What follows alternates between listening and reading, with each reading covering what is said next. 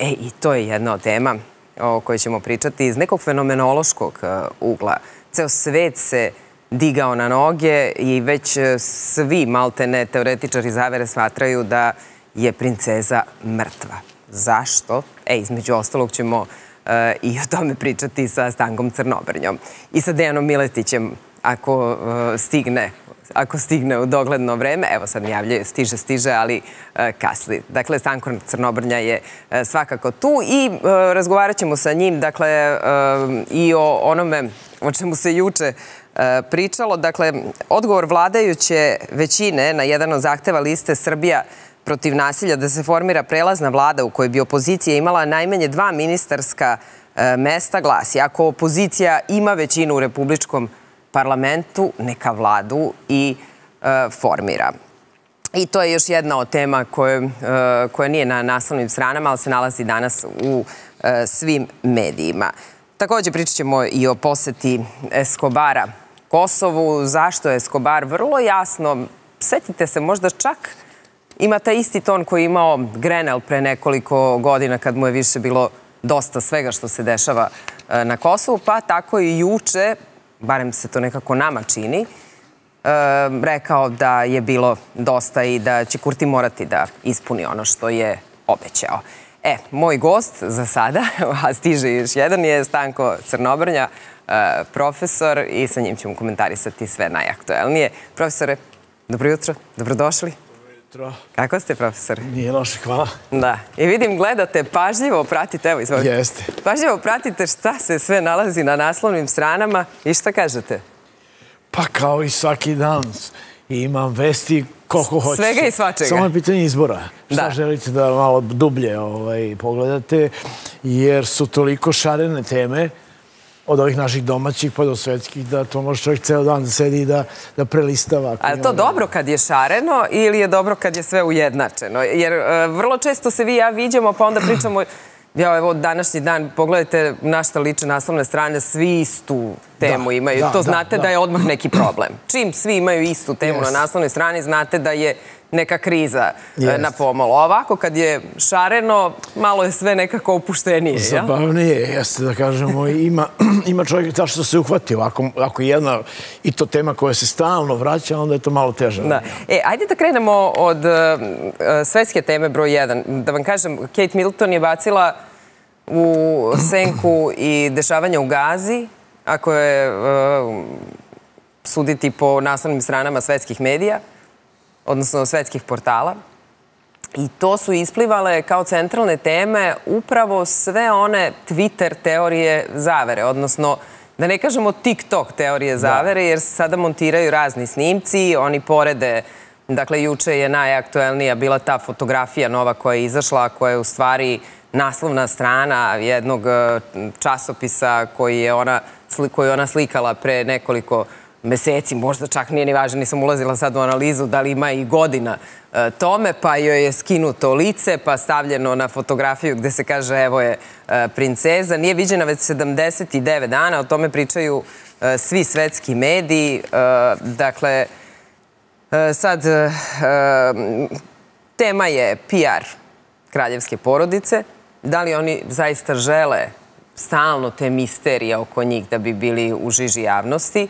ili se ovde e, nešto stvarno desilo. Dakle, princeza koja e, kad se porodi izlazi sa bebom istog dana posle par sati da slika e, da se slika zajedno sa svojim suprugom i bebom. Ovog puta nisu je uhvatili čak nikad je izlazila iz bolnice posle operacije, što je britansku javnost dodatno uznemirilo i evo do dana današnjeg nema ni jedne fotografije princeze.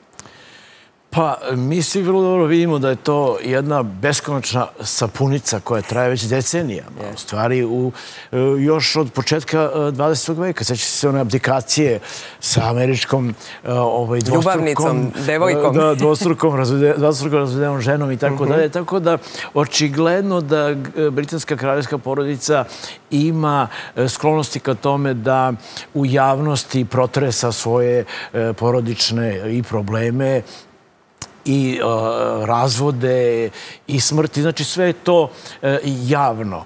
E, posebna je tu stvar što Britanci imaju tu jednu malu sklonost, malo i da kažemo malo i perverznom. Jer ta njihova kultura jeste oslonjena suštinski na uvek jednu dvoličnu situaciju u kojoj se jedna priča, uporno priča za javnost, a druga se odvija unutar same organizacije. Dobro, šta vi mislite, šta se desilo sa Kate Middleton? Dakle, Kensingtonska palata s vremena na vreme saopšti da je princeza od Velsa u dobrom stanju, da se oporavak odvija kako treba.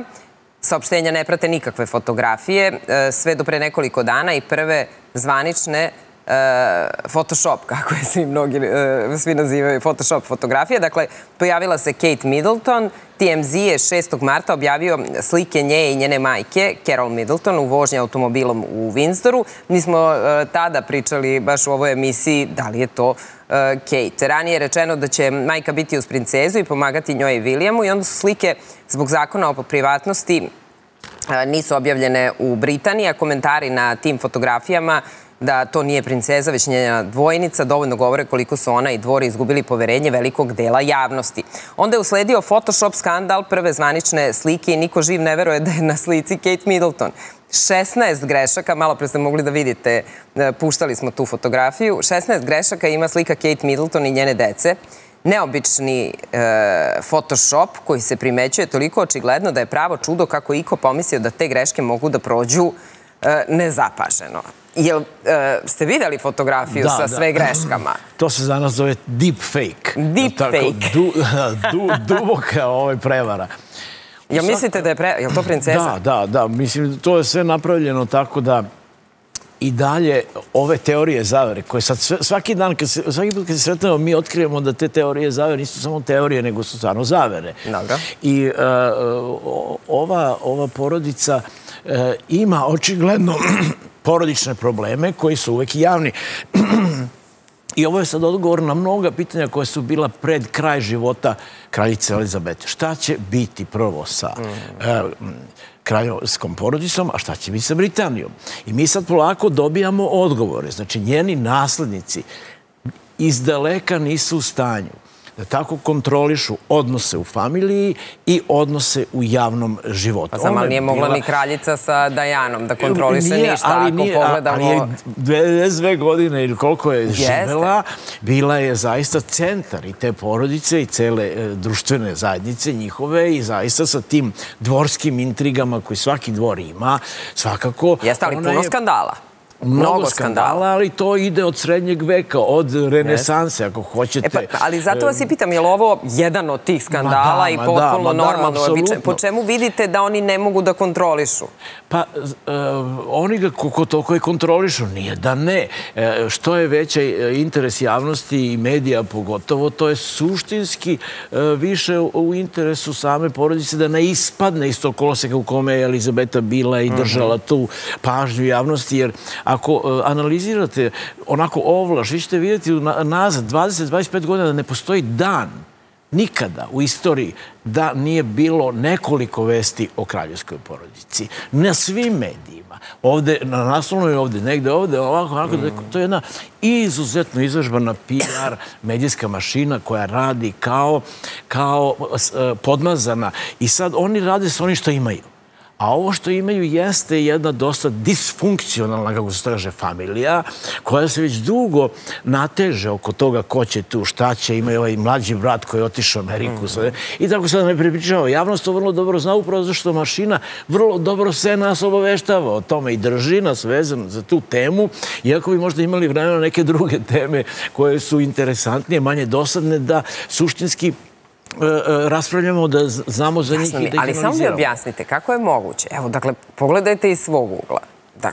Dakle, evo, da se desilo da je, e, da ste vi operisani. Sad želi cela javnost da dođe do vas. Pa došli bi, ako ne mogu do vaše najuže porodice, došli bi do nekog vašeg prijatelja, došli bi do doktora, pa danas upadaju u bolnice i fotografišu maltene na operacijama ljude. Dakle, ovde nema ničega. Ne postoji, e, ima priča kao šta su, ne znam, prijatelji e, od Megan i Harry koji ih inače ne viđaju, mislim, rekli, Dakle, ne postoji N i Š To je potpuno neverovatno. E, jeste, u stvari, e, postaje verovatno kada shvatite da je unazad nekoliko godina kraljevska porodica imala oštre sudske postupke prema paparacijama, prema medijima i tako dalje tražeći zaštitu svog tog baš najprivatnijeg dela života i dobili su nekoliko od tih e, e, sporova. Tako da, se, da su se britanski mediji malo tu povukli s obzirom da i oni osjećaju da tu ima jedan veliki problem koji sad nije baš na njima da ga oni e, direktno istaknu i mislim da se u, u ovom slučaju britanska štampa, pa čak i ta najviše bulevarska, na neki način je udarila ručnu kočicu i rekla ajde da vidimo još malo kako će to da ide, pa da onda krenemo da... Jeste, jer ona, e, Kate je tražila privatnost. Rekla je, dakle, ja sam se operisala, sve je u redu, to je to, ne želim da više na to temu. Ajde, verujemo na reči, sad jedno vreme će to tako da bude dok ne ispliva neka druga bomba iz porodice. Porodice, ponavljam, jako disfunkcionalna, ne verujem da se tu ikoga ozbiljno drži kao kao nekoga E, primjera ili kao neku snagu ili kao e, neku podršku, jer je to već dugo godina u nastajanju. To nije nešto od sinoći, to uvijek treba, e, to uvijek naglašavam, to nije vest od danas. To se vuče, vuče, vuče još od ovog nesrećnog kralja koji čeka 40 godina da postane kralj. Znači, vi taj mentalni sklop. I sad ovaj... Čekaj da mu umre mama. Zamislite, čekate ceo život da vam ovaj- umre mama. Pošto pa to je stvarno neverovatno. Pošto je oglašeno da je kralj nije udarno, sad ovaj čeka da bude. Jer tako, mislim, to su te neke tenzije kao iz nekih filmova. Malo strava iz užasa, malo šekspirovskih drama, malo antičkih drama. I sve to nama lansirano, medijski upakovano na tacnu, tako da mi prosto ne možemo da izostavimo tu temu iz naših dnevnih ovih. Evo sad i moje pitanje za vas, zašto? Dakle, e, pričao je prošle nedelje je bio eh, i profesor Velja Abramović, dakle, koji je rekao, ja stvarno, ja sam pristao da dođem na ovu temu, ali ne znam što me pitate, ona je mrtva. Kao da je to već svima jasno, pa je rekao. Eh, I kaže, vidjet ćete, dakle, ovo nije sad stvar Kate, eh, William, da ovo je mnogo dublje, nešto, i ispostavit će se ubrzo o čemu je reč. Međutim, postoje mnoge teorije zavera. Ja malo pre kad sam rekla TikTok, društvene mreže, Dakle, e, evo samo nekoliko, e, kako mediji navode, najluđih teorija. Kate Middleton je donirala bubrek kralju Charlesu da bi postala kraljica. Onda druga je da je palata našla e, dvojnicu princeze od Velsa jer je ona u komi ili je mrtva. Treća je da je Kate Middleton trenutno prolazi kroz proces kloniranja. Četvrta da je princeza proterana iz porodice i sad putuje Britanijom i prodaje kosu da bi preživela. Peta je da se tajno porodila i na sve donela riđe dete i onda palata to krije. Da se nalazi u programu zaštite. Pa sedma je da ima lošu frizuru pa da čekaju da joj poraste kosta. I osmo, najstvarno potpuno bizarna je da je postala nebinarna e, osoba. Ali se onda da sad situacija ne bi bila dosadna, naravno, pojavila i ljubavnica. Pa su se pojavile ljubavnica e, princa Vilijama, pa su se pojavile priče da je u stvari princ Vilijam izuzetno agresivan i nasilan i da e, je to nešto što je palata e, krila do sada. A ovde je reč, kada pričamo o ljubavnici, svi kažu, evo, ponavlja se scenario Kamile. Reč je o Rose. Ta Sara Rose je bivša manekenka naravno udata je, ima muža, e, imaju troje dece i e, dakle žive u, to je bogata e, porodica, dakle ona je udata za markiza od Kolmondelija, recimo da se tako zove. Sam Markiz je stariji od supruge 23 godine, zajedno su 2003. godine, upoznali su se na odmoru u Italiji venčali 2009. godine i sada kada Rose šeta sa tom devojčicom svojom, plavom, onako lepom devojčicom, kažu evo pa to je u stvari čerka princa Vilijama. I samo da uvedemo e, gospodina Miletića. Taman, dođite na, e, evo, pred kraj naše priče. Najopasnije teme. Da, krenuli smo od Tračeva, da vam kažem. Ali, znate, kritiku sam imao, kod vas sam uvek tačan. I kažu svi ljubomorni su, kaže, samo kod Jovane nikad nisi zakasnio. I vi sad da biste pa smirili zle pa duhove, vi ste rešili da zakasnite. Vi mogu ljubomora me uvek nerviraju.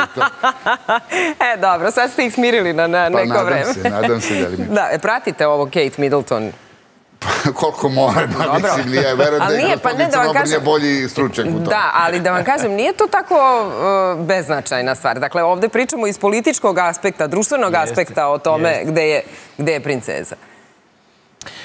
Pa, e, mi ako smo gledali silne one e, britanske filmove i serije, pogotovo ova najnovija ili posljednja Downton Abbey, mi smo mogli potpuno da uđemo u e, nivoje te klasne nivoje koji dan danas u Britaniji jako su bitni.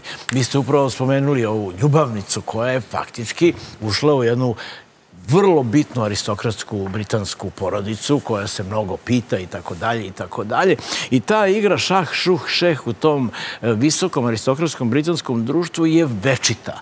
Ona nikada ne posustaje i prelama se upravo kroz te dvorske e, intrige, dvorske odnose i tako dalje. Interesi su ogromni. To su velika bogatstva, veliki eh, e, posljedi suda po svetu od Afrike do Južne Južne Amerike i tako dalje i tako dalje. I to samo, kao što ste rekli, dobro, na prvi pogled izgleda kao jedna ovako trač partija žešćih razmera. Suštinski radi se dosta i o podeli plena, jer je ovaj gospodin koji je trenutno kralj neće verovatno dugo da bude kralj. I sad je tu sad unutar porodice krenulo jedno raščišćavanje da na vreme svi budu. Ako ste gledali ovaj Succession, to je znači sad iz medijskog sveta jedna dinastija koja je napravljena na osnovu porodice Ruperta Mardoka. I mi smo mogli iznutra imamo jednu fantastičnu televizijsku analizu kako te porodice koje faktički imaju predodređene sudbine, kako pokušaju da promene te sudbine u svoju korist. I to je otprilike, mogu ja ovako da... A sve se vrti oko pare. Sve se vrti oko moći, u pa stvari. Pa dobro, moći, da. Da, pa para u suštini i moći, to je ipak i dalje, mislim, kažemo da je to nestala imperija, međutim, to je veliki Commonwealth, mnogo je tu unutra država, a još je e, London e, uvek jedan ozbiljan finansijski i ekonomski centar koji drma svetom, pa i utiče i na Ameriku i tako dalje i tako dalje. Tako da ovime što rade ove visoke političke odnose, nije svejedno ko će tu biti taj koji donosi neke odluke. Apsolutno, pa zato sam, zato sam i htjela da, eh, da pričam o ovome kao, kao prvoj temi, zato što kad god pomislimo da malo tračarimo i da možda to kao nije sad sa nas briga gde je eh, Kate Middleton, ja se setim situacije kada je bilo najavljeno da će tada princ Charles da dođe u Srbiju. Kakva je to bila uh, važna vest za nas. Dakle, eh, on se sastaje prvo sa najvišim zvaničnicima. Dakle, u to vreme ne kraljica, nego print Charles eh, je dočekam na najvišem mogućem eh, nivou ovde u Srbiji i ukazana je nama čast kao zemlji time što je on bio ovde. E sad, taj čovek je danas kralj. Kada bi došao ovde, verujem da bi se opet digla cela Srbija i da bi to za nas bilo bitno. Pa s tim u vezi me interesuje da li mislite da je važno šta se dešava sa tom porodicom u smislu da li im ovo krnji njihovu moć ili su naprotiv ovo stvari koje koje nekako tu porodicu, kao što malo pre i reče profesor, održavaju u, u tom javnom životu i stalno drže tenziju. Ne prođe ni dan da ih nema u medijima. Pa nema statike, nema i zenit e, britanski imperij imperije je davno prošao i sada mi vidimo, naravno, ta moć akumulirana pre svega u bogatstvu e, je evidentna na svakom koraku i od toga kad odete u London, pa je to jedan od najlepših gradova sveta, pa nadalje kada vidite e, koliko pažnje se Hariju, recimo, koji ne zna se da li je Charlesov ili je samo Dijanin, pa je on u Americi, pa koliko je tu medijske pažnje u Americi eh, i u tom kontekstu. Naravno da su to bitne stvari, ali eh, ne bih predimenzionirao. Mislim da s moje tačke gledišta, bar, eh, naravno radi se o jednom kontinuiranom opadanju moći Velike Britanije, iako je ona izuzetno visoka i dalje, tu nemam nikakvo pocenjivanje, nemam, nego je to s moje tačke gledišta evidentno i to se odražava i na ovu situaciju gde u stvari e, E, teško je uhvatiti ko pije, ko plaća i da će William zaista preuzeti taj presto. E, delo je da je on najbolje rješenje. E, veliko je pitanje tu, to je jedna čvorna tačka informacija, čvorna tačka britanske elite preko koje se u stvari manifestuju e, nekako manifestuje ta moć Commonwealtha i tako dalje. Tako da nije to nešto što je zanemarivo i naravno da medijski pre svega je vrlo interesantno, jer to je ipak kraljevstvo koje je najuticajnije na svetu. Ako neko kraljevstvo i naravno e, mi trebamo da imamo u vidu i da su rodbinske veze e, našeg princa Aleksandra važne i velike, visoke, kako da kažem, sa dvorom britanskim i to ne treba zanemariti. Mi to nismo u ne znam kakvoj meri koristili možda. Pa nismo koristili uopšte. Pa nažalost, ali to je možda i obostrana nekih propusta ima, ali mislim da tu ima potencijala i da je to moralo da se koristi u značajnoj meri kada je u pitanju Britanija, ali nažalost ne. Međutim, hoću da kažem, ne bih ja sad tu predimenzionirao njihovu ulogu, jer oni, kad bi se pitao Prin Charles, koji je bio i na Hilandaru i koji je uvažio i naše svetinje i uopšte našu istoriju i tako dalje, on je jedan izuzetno obrazovan čovjek, nisam video da se nešto promenilo u britanskoj politici i to moram da konstatujem. Tako da, tu je i rekao bih kraljevstvo, odnosno taj dvor je odvojen od e, politike i interesa politike. Tako da, eto, mislim, ima značaj, ali ne bi preterivo. Ili ti premijer uvek ide i polaže kraljici e, neke... Nešto, nešto. Nešto, da, ali e, sve u svemu, dakle, pa i gledajući tu krunu, ako ste gledali seriju, vi vidite jedan značajan deo poslednje sezone je posvećen ratu u Bosni, što je e, isto tako e, veoma važno kako se britanska politika u stvari odnosi prema e, ovoj teritoriji Zapadnog Balkana. Kad god pomislimo da nismo važni, treba da se setimo da ako čak i hollywoodske produkcije nas naše probleme stavljaju kao jedna od važnijih tema, da smo im uvek na oku. I sad s tim u vezi da se sad prebacimo na našu politiku, politiku dijaloga Beograda i Prištine, Kako je vama delovao i zvučao juče Gabriel Escobar? To bolje sve zvuči, ali ne zveči. Znate, ja to se najviše nerviram oko toga što američka politika ima drugačije tonove i ja uvek polažem nadu i sve očekujem nešto će se desiti za okret neki i nekako nikako da dočekam. I teško ću dočekati s ovom administracijom. Treba biti iskren. Ja verujem... A setite se da i Grenalu trebalo vreme.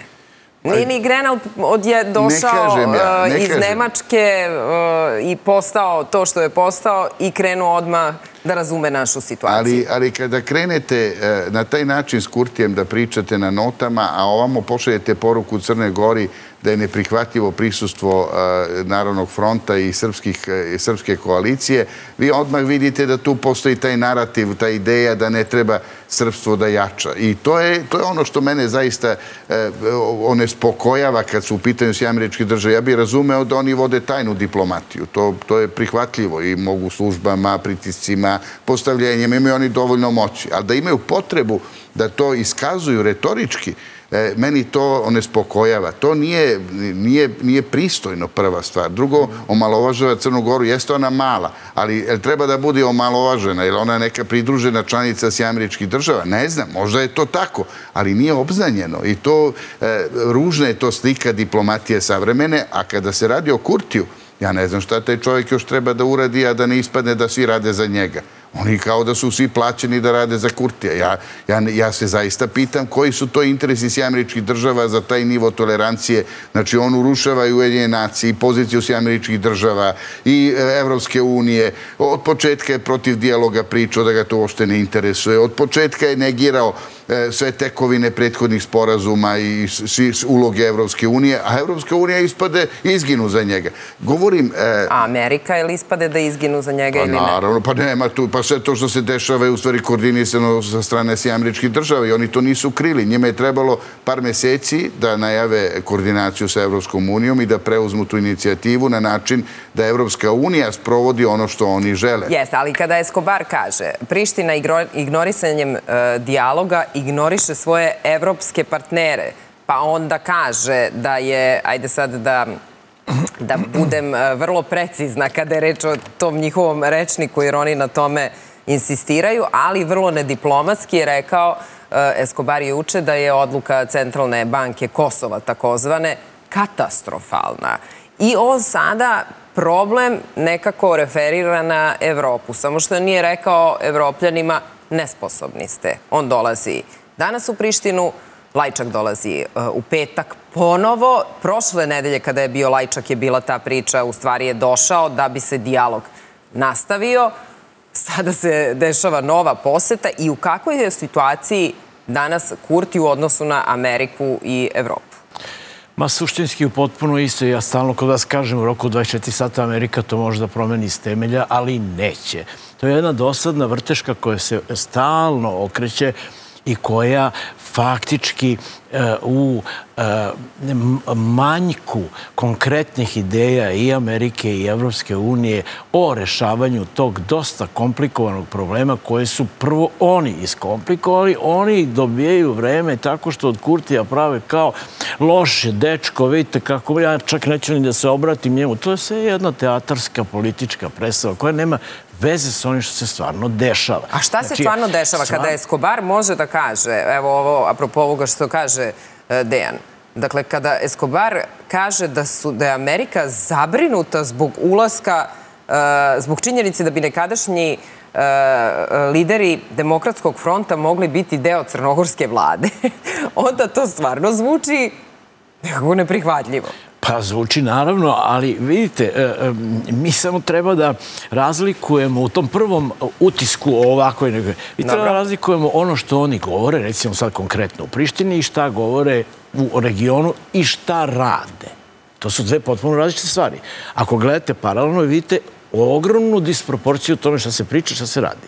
Znači, radi se temeljno, mi, to nije e, nove za nas, radi se temeljno da se Crna Gora odvoji od što više od Srbije i od takozvanog srpsko-ruskog utice i to je kontinuitet koji traje već 20 godina Mila Đukanovića. Tako kad su prihvatili euro 2002. godine, oni su dobili euro kao monetu. Pre Hrvatske koje je dobili posle 20 godina, pre masu država koje su u Evropskoj uniji, oni imaju euro. Znači to vam govori da oni rade nešto sasvim drugo, je tako? A ovo moraju da pričaju da bi držali upravo te trenutne dnevne neke tenzije da se političari pitaju da mi analizujemo analiziramo da ono...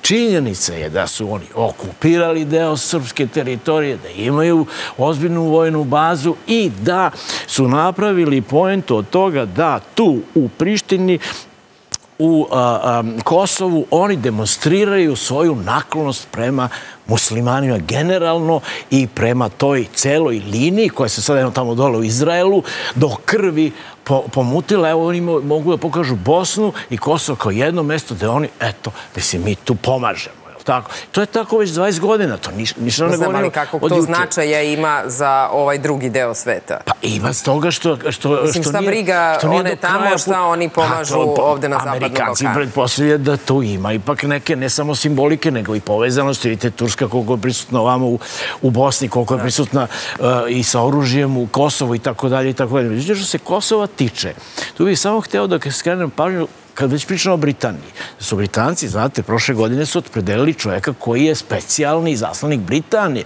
Svi imaju specijalni zaslanike, što je isto jedna onako teatralna i operetska stvar, ali dobro ovaj Pič koji je bio tu na terenu, bio je visoki oficijed i tako dalje, on je u posljednje vreme istračao sa jednom idejom koju niko nije istračao i evo vam je sveža ideja on je prvi, prvi koji je rekao da bi e, problem na Kosovu mogao se rešava onako se e, problem rešava u Severnoj Irskoj.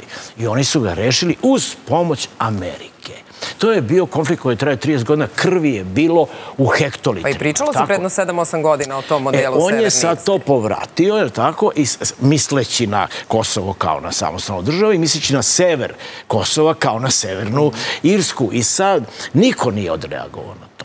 A ovaj da ima neku zaista... Ko, ko vam je ovaj? Ovaj Eskobar, da. Da ima neku zaista konkretnu volju da sasluša, da vidi, da kaže, možda bi nešto od toga prihodi gurno napred, da se malo pomari taj, u stvari, sada paraliza i stop koji nigde ne vodi, sem dodatnom urušavanju odnosa između Beograda i Priština, pogotovo odnosa između Prištine i severnog dela Kosova, gdje su ljudi u potpunoj sada, kako da kažem, jednoj traumatičnoj traumatičnoj situaciji, a već su godine u traumatičnoj situaciji, a sad su ekstra traumatizmi. Da, i juče je mogla da se na 21. godišnicu od ubistva premijera Đinđića e, pročita e, masa tweetova po društvenim mrežama i komentari što evo i kroz e, našu televiziju pa i kroz mnoge televizije gde su govorili njegovi saradnici koji su rekli on da je ostao živ, da ga nisu ubili, on bi rešio problem Kosova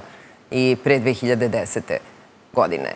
Đinđić u to vreme sa izuzetno malom podrškom, neki njegovi saradnici licitiraju da je u to vreme, mi svi zaboravljamo da e, je Đinđić bio po naslovnim stranama i u medijima satanizovan, a onda e, da kad je nažalost ubijen su ljudi e, upravo onom povorkom i onom šetnjom iskazali da u stvari su možda čak i razumeli šta je on to radio. Ali da ne ulazimo sada u to, da li mislite da je ovde stvar politike u rešavanju kosovskog pitanja? Kad kažem politike, mislim na našu e, spoljnu politiku koju mi vodimo. Ili mi prosto, kogoda je na vlasti, neće moći da rešava e, situaciju na Kosovu onako kako nama ide u korist, ili je potpuno suprotno. Dakle, važno je da li je na vlasti Đinđić, važno je da li je na vlasti Vučić, važno je da li je na vlasti Tadić, jer te politike u stvari određuju politiku prema, prema Kosovu. Politiku prema Kosovu određuje naš narod i on je jedinstven u tome. I vrlo malo ljudi, kada biste pitali i pitaju stalno te analize, e, ne mogu da nađu ni jednu četvrtinu ljudi koji bi rekli baš nas briga za Kosovo. Ali to nije sporno. Ne, ne, ali to određuje politiku, jer političari su eksponenti naroda. Oni nisu autonomni e, igrači koji mogu da rade šta hoće, odnosno mogu do nekle. Od nekle ne mogu. E, govorim samo zašto to sve kažem. Kosovo i Metohije je egzistencijalno pitanje našeg naroda. To je koren naše istorije, koren našeg porekla, naše diferencijacije, našeg E, opstajanja na ovim prostorima gdje smo mi legitimizovali sebe i kao narod i kao e, pravoslavna crkva i tako dalje. Znači, hoću da kažem, e, to nije nešto što možete da odbacite i da budete normalni. Možete da korene svoji sečete i da nigde niste i da ne postojite i da se stopite u nekoj iteraciji. To se neće desiti. Naš narod je opstajao vekovima. A ko to mislite da želi da se desi kada je reč o političaru? Pa u stranci žele. Oni koji žele da kontrolišu prostor, koji žele da upravljaju vašim resursima, resursima, vašim životima. To je ta moć o kojoj pričamo kada britansku krunu pominjemo ili pričamo o Vašingtonu ili o Moskvi. Svi oni imaju svoje ideje i svoje planove. Ako oni su njihovi, a mogu da se poklope u nekoj iteraciji s našim, ali su njihovi. Njihovi interesi treba da budu odbranjeni, njihove ekonomska benefiti treba da budu zaštićeni, njihovi vojni strateški ciljevi treba da budu... Govorim, znači, to može da nam se nešto odgovara ili ne odgovara, ali su u pitanju njihovi interesi. E sad, e, šta hoću da kažem? E, gospodin Đinjić je bio za podelu Kosova. To isto nije odgovaralo zapadnim predstavnicima, kao što nije ni Koštuničina da se insistira po svaku cenu da se očuva rezolucija 244 i da se e, međunarodno pravo insistira na njemu po svaku cenu.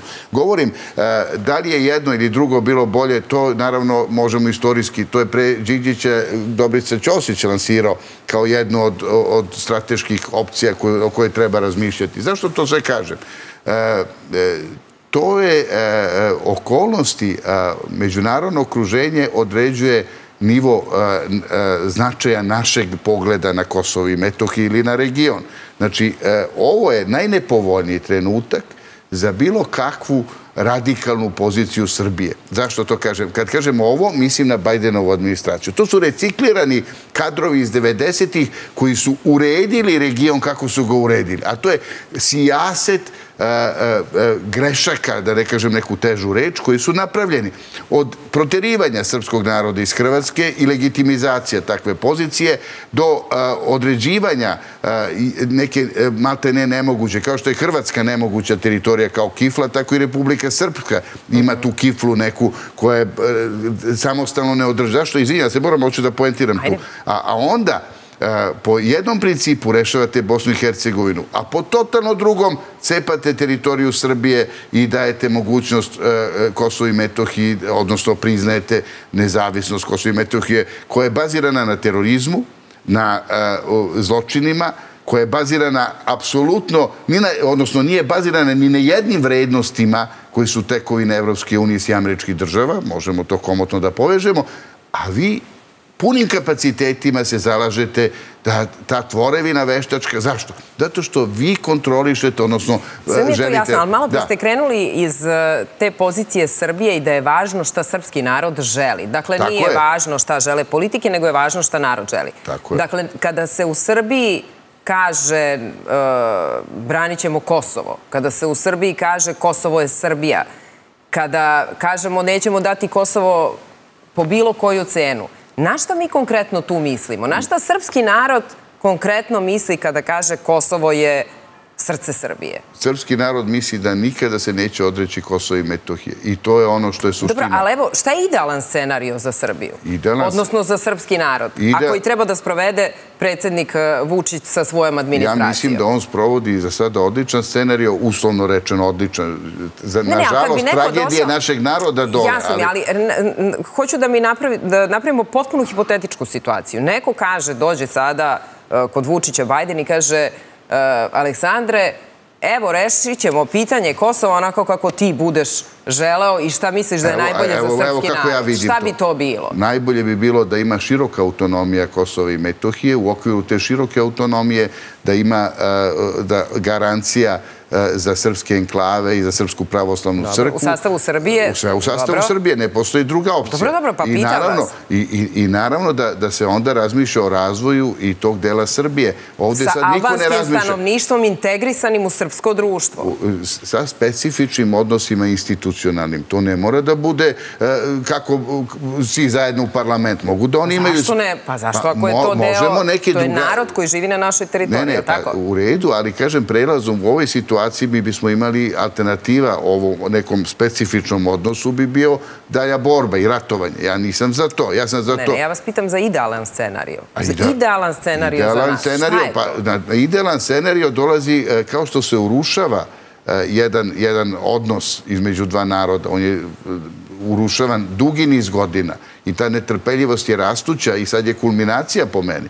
Sad ovo je, eh, znači velika je mudrost očuvati mir na tom prostoru, jer bez našeg naroda i teror koji on proživao i 90-ih u stvari i danas je rastući. Vi nemate mira tamo i to je bes jedan koji e, mogo bi da se vrati kao bumerang. Hoću da kažem, e, idealan scenario, ono što ja vidim kao idealan scenario je da je to, e, znači da su granice neotuđive, kao što i međunarodno pravo kaže, e, da je Kosovo i Metohija deo Srbije, da ima specifičnu organizacijonu strukturu, da ima e, najširu moguću autonomiju, da ne može e, ni poreske stvari, ni vojne stvari, ni, ne znam, ima elemenata koje prosto ne bi bile date. Dobro, razumem model vaš, ali zašto sam namjerno postavila ovo pitanje? Zato što Kao što vi kažete, idealno bi bilo da na ovom prostoru Zapadnog Balkana se svi isele iz Bosne i Hercegovine i da Bosna bude kako ste vi tada rekli, pluća Evrope, da se tu zaseju šume. To je ideja koju vi promovišete. Već postoji. To je kroz ovu emisiju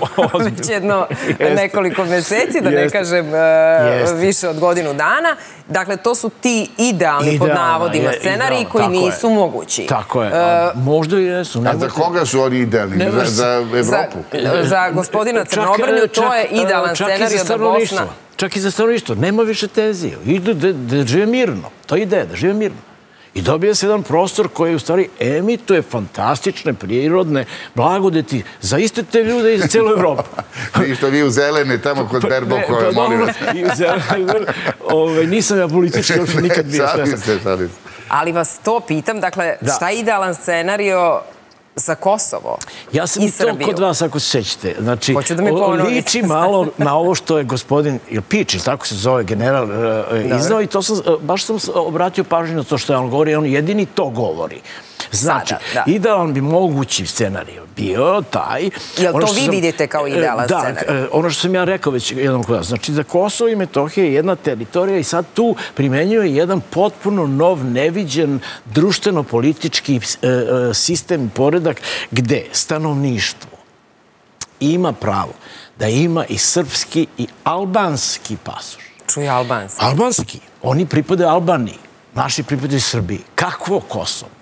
To je potpuno izmanipulisan projekat, rekao sam, da bi se zaštitila američka vojna baza tu. Znači, taj, ta teritorija treba se proglasi za neku vrstu, kao što imate slobodne trgovinske zone, za slobodnu političko, privredno, geografsku zonu, gde i jedni i drugi upravljaju tom zonom, Albanci i Srbi.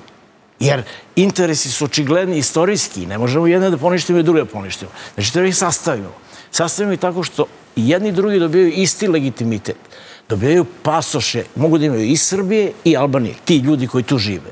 I mogu slobodno da se udružuju i da rade posao biznis komunikacije, da to postane jedan centar na Balkanu kome sanjaju ovi kad govore o otvoreni Balkan.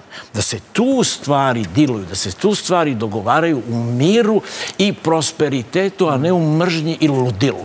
A da to daj Bože, e, samo onako nadgleda jedna kombinovana međunarodna e, e, ekipa gdje bi svakako bili Grci s jedne strane, i Italijani s druge strane, jer obe te države imaju velike interese prema Albaniji i prema Srbiji. Jer mi stalno imamo neke Nemce koji tamo nešto nam ovde... Šta Nemce? Ili Amerikanci. Da, ili Amerikanci. Šta Nemce? Nego tu na regionu da se napravi jedna grupa koja će da garantuje neke bezbednosti i neke odnose i da se polako ta jedna nova u politici neviđena struktura oformljava na sreću svih igrača unutra.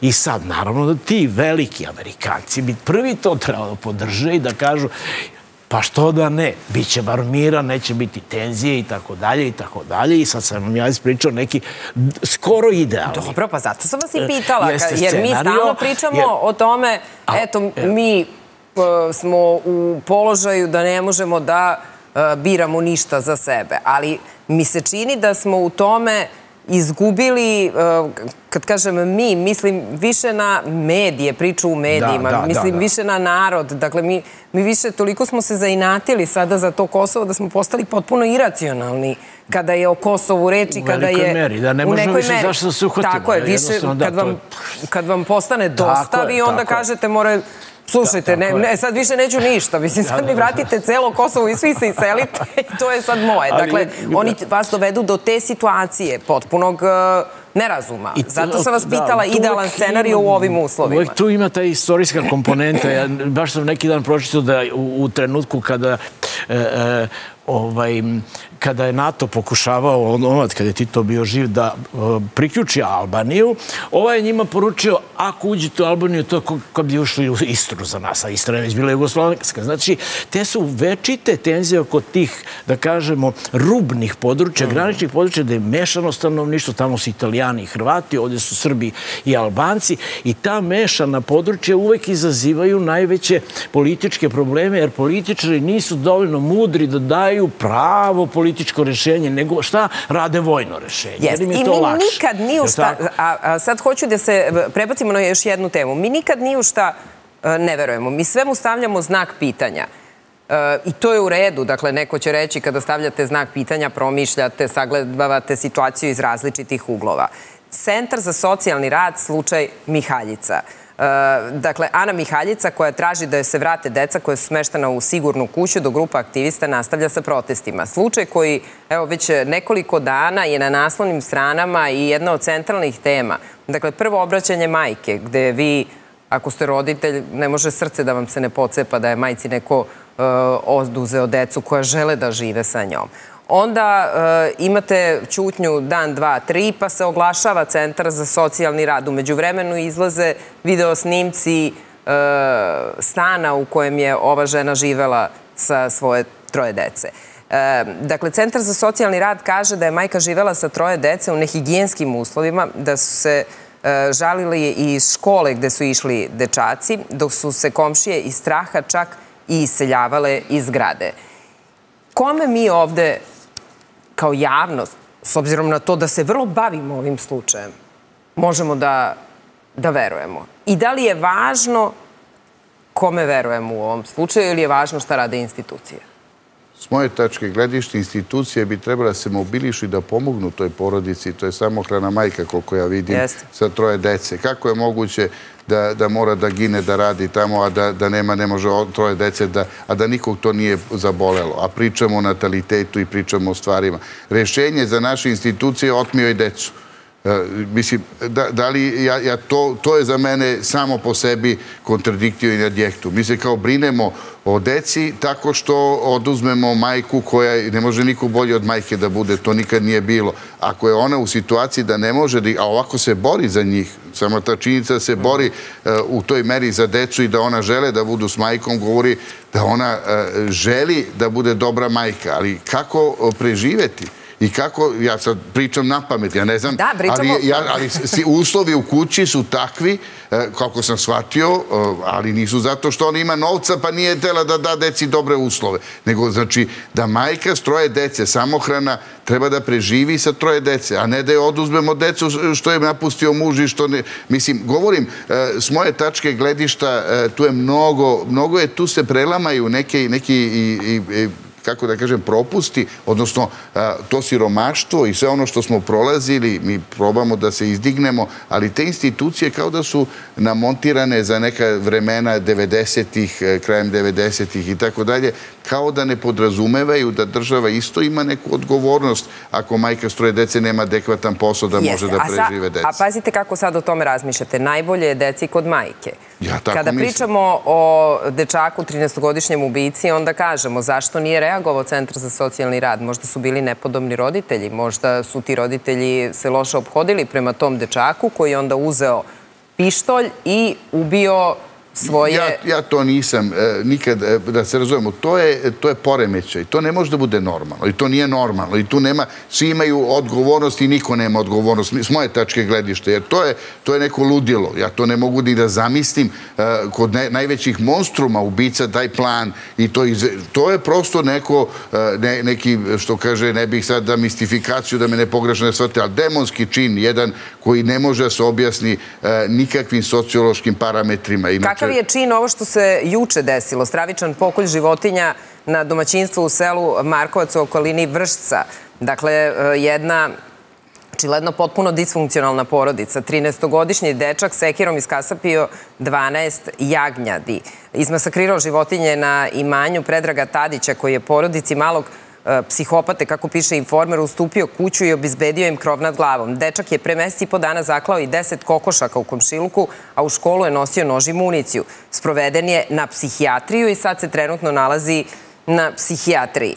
E, dakle, ono na što su ukazivali stručnjaci e, je to da treba da se vodi računa i da se žestoko kažnjavaju svi oni koji se iživljavaju nad životinjama, jer su to oni koji su sposobni da kasnije to urade e, i na ljudima. Ali e, je li ovde u ovom slučaju prava odluka da se ovaj 13-godišnji dečak smesti na psihijatriju? Pa verovato, to stručnjaci moraju da kažu, ali to isto ne mogu da zamislim. Taj nivo nenormalnosti da ubija, može se dete tu desi da nešto je, ne znam, E, pa neki odnos sa nekom životinjom. Mislim, mogu da, mislim, je, ne, ali da to masovno, da vi to kao ritual neki sprovo, ne mogu prosto, ali to je za psihijatriju, znate, ja ne mogu da struče stvari koje su, to su teški poremeće i to uzroci ti poremeće isto moraju da se analiziraju. Znači, nije, da li je to genetski ili je to i sociološki aspekt i tako dalje. E pa baš je to... Ne možemo na pametu, ja, meni je to strašno. Ali možemo na pamet u slučaju majke dece. Ne, ja kažem kako ja e pa vidim sam vas i pitala. Dakle, mogu na pamet, jer radi se o troje dece kod samohrane majke. I mi joj prigovaramo što je to za Boga nije kući sve vreme. A kako da prežive?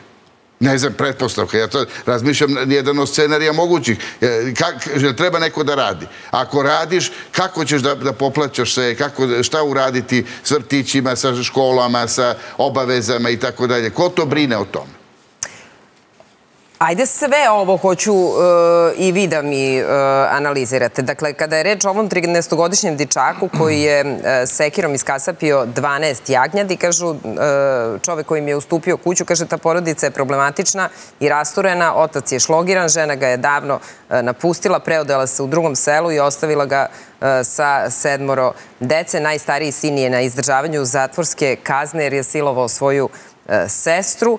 E, dakle, ovaj dečak je pre mesti po dana komši zaklao deset kokošaka, nedavno je u školu ponao nož, pravdao se da su ga neka deca maltretirala, onda je pre dve nedelje iznenada nestao, ceo dan nismo mogli da ga nađemo i na kraju je nešto pre ponoći došao kući sa džepovima nam punim e, puščanih patrona. Užas.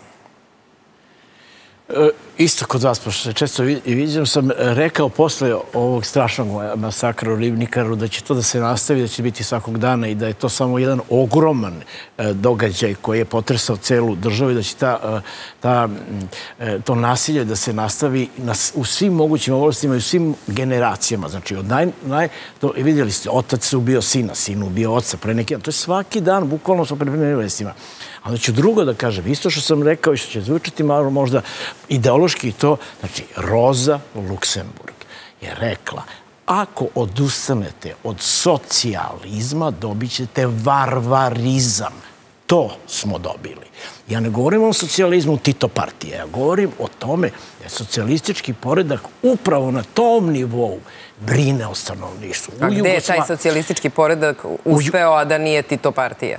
Pa, u Nemačkoj u jednom dugom vremenu socijaldemokrate je uspela te socijalno, e, psihološke socijalno-ekonomske odnose da dovede u neku koliko toki balans, pa je smanjila taj stepen tih sociopatoloških ekscese, jako su oni imali isto neke s vremena vreme. Ali vi kada odete potpuno od toga da štitite lokalnu zajednicu specializovanim službama i da vam je prva specializovana služba 45 km od tog mjesta gde vi živite, vi ste u varvarizmu životinje vam postaju e, e, opasno, suparnici. Isto vremeno u novoj tehnologiji klinac gleda igrice, ovo, ono, levo, desno i to je sad jedna totalno jedna zamućena situacija i ne mogu uopšte da ulazim u to kako i zašto se taj konkretan desio. Ali to će se stalno dešavati upravo zbog toga što ta socijalna mreža zaštite... A misle, ovoga nije bilo za vreme socijalizma? Čega? Da dečak ubije životinje na selu? Vrlo redko. Naravno, tad nisu pa mediji od toga pravili. Ali dečaci ubijaju dečaci sada. Toga nije bilo socijalizmu. Tako da hoću da kažem da to napuštanje toga humanog aspekta da država brine o svojim stanovnicima od rođenja do smrti se nekako pokvario u tranziciji pa se to radi palijativno ili retroaktivno. Ne, ne, ne, ne. Jugoslavija je nekad bila pojam preventive u zdravstvenoj zaštiti. Ljudi su dolazili iz celog sveta da vide kako je to bilo organizovano. Je bilo organizovano.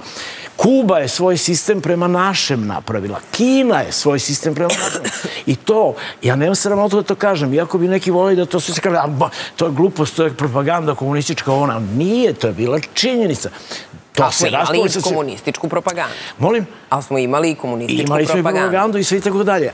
Ali taj Roze Luksemburg, taj uvid, on mnogo treba da znači u ovom vremenu. Ako pustite samo sile, onako eruptivne sile, grubog kapitala, da određuje društvene odnose, pa sve do najnižeg nivoa vi ćete dobiti varovrizam. Mi ga imamo. Svaki dan je ovaj tip 4,5 promila vozi ko lud autoputom. To svaki dan čitamo. Evo vam varvarizam.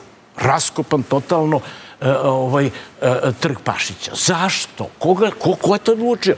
Juče, panika. Renovira pa, se. Pa, renovira, za. A Bezistan koji dve, 30 godina stoji kao ruina, predivno arhiteksko zdanje, niko neće da takne. Ovo se peti put već raskopava i zakopava, pritom haos u saobraćaju. Jer to ima rezon da nam kaže zbog čega oni to sad baš rade? Da ne ulazimo u teorije zavere. Zašto mora teška mehanizacija bude na sred, sreda grada kad ide turistička sezona? A znam li u Bezistanu da se Bezistan radi isto bi bila teška mehanizacija? Pa ne, nije tačno. Ali on je mogu da se uradi već pre pet godina jer ruši se, ruši se. Da, zato što je uvek renoviranje grada je stvar kako da kažem, subjektivnog.